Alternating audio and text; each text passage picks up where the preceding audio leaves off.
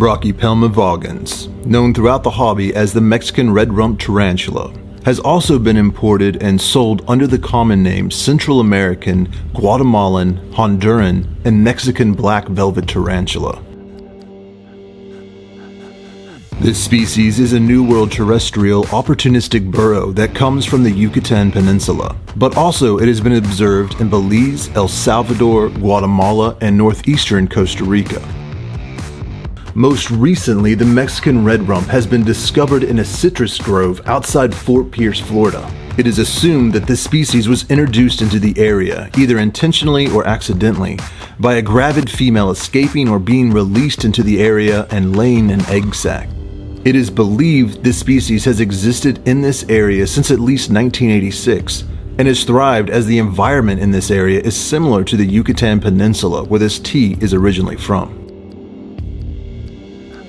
Though there have been attempts to eradicate this species from the area, it has so far not been successful, and these Ts can still be found in that small area of Florida today. This isn't the only place this species has been introduced by humans. There are also red rumps found on Cozumel Island in Mexico, where scientists found that over time this species grows much larger than their mainland variety. The B. vagans has become a very common tarantula in the hobby due to its beautiful black velvet color and red setae on the abdomen. They are easy to keep and breed and are normally very inexpensive and given away as freebies when people purchase tarantulas from breeders. Due to the common nature of this tarantula, their beauty has become familiar and overlooked and the species has been turned into an ongoing meme due to the fact that people misidentify other more rare tarantulas with the phrase, looks like my B. vagans.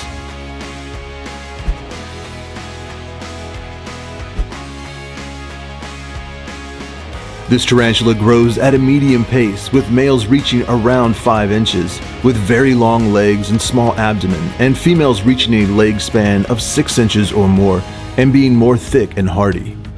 Males can live as long as 8 years and reach sexual maturity around 4 years. Females can live up to 20 to 25 years and reach sexual maturity after about 7 years. Females typically lay egg sacs with between 100 to 300 eggs, though some unconfirmed reports have stated there can be as many as 500 to 600.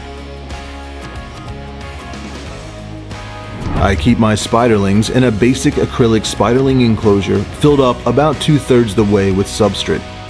I consider spiderlings in this case to be slings under 2 inches in leg span. I keep the substrate a little moist like with most slings and provide a hide and small water dish if possible.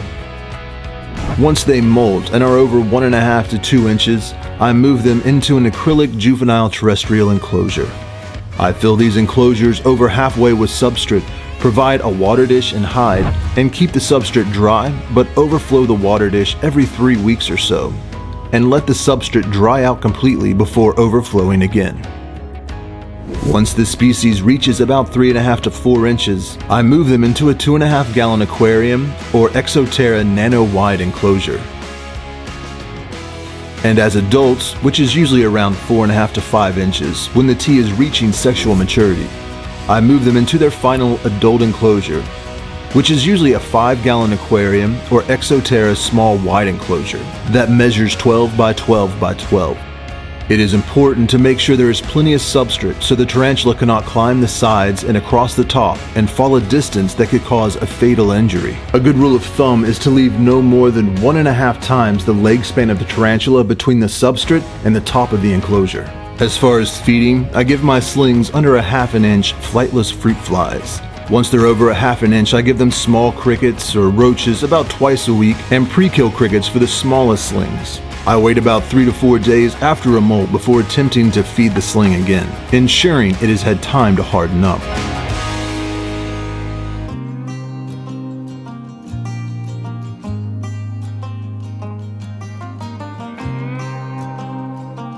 Once they are over 2 inches, I switch them to medium-sized crickets or roaches and make sure the feeders are no more than two-thirds the size of the tarantula.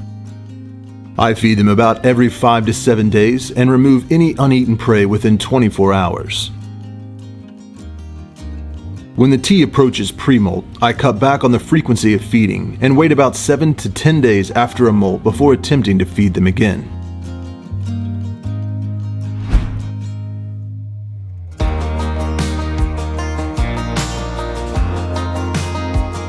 I feed my adult Vagans 5 to 7 large crickets every 7 to 10 days and switch it up sometimes with mealworms, roaches, or other invertebrate feeders like locust, waxworms, or green hornworms.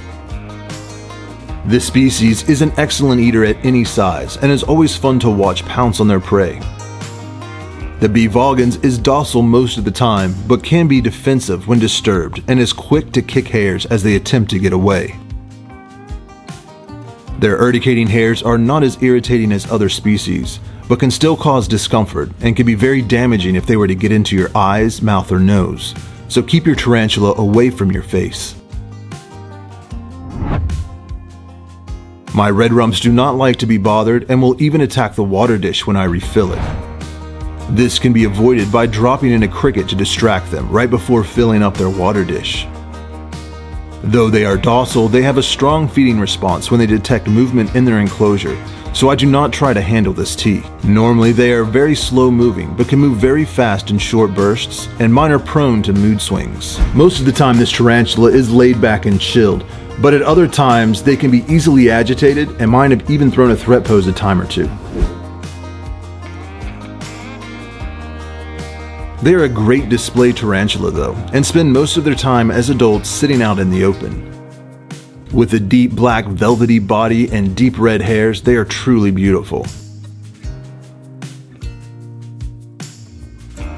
Because their husbandry is very easy and straightforward, and the fact they are readily available and inexpensive, I think this species makes for a great beginner tarantula as long as you don't try to handle it.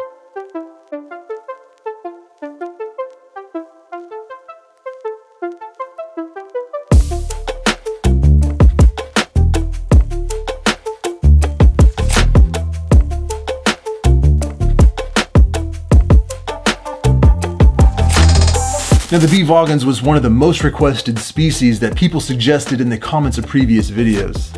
So thank you to everyone that made that suggestion. And if you have a suggestion for another species you would like to see me cover in future episodes of Tarantula Tuesday, be sure to leave that comment down below and help me decide which species we do next. I feel like this species doesn't get enough credit because it's become so normalized in the hobby, but they truly are a gorgeous tarantula with an amazing feeding response and mine are almost always out on display and beautiful to look at. For the people that aren't saturated into the tarantula hobby, this species always stands out as a beautiful specimen to them. I love how intensely mine will attack their prey, and it's always on the list of tarantulas I am sure to show off whenever someone new comes down to take a look. They're so easy to take care of and so beautiful, and there's a lot of interesting facts about it. In fact, there's some indigenous people from the area they are originally from in the Yucatan Peninsula that use them medicinally. The shaman or medicine man of the tribe tribe will actually capture the tarantula, kill it, crush it up, soak it in alcohol, strain it through a cloth to remove all the urticating hairs. Then they use this beverage as a treatment for an illness they call tarantula wind,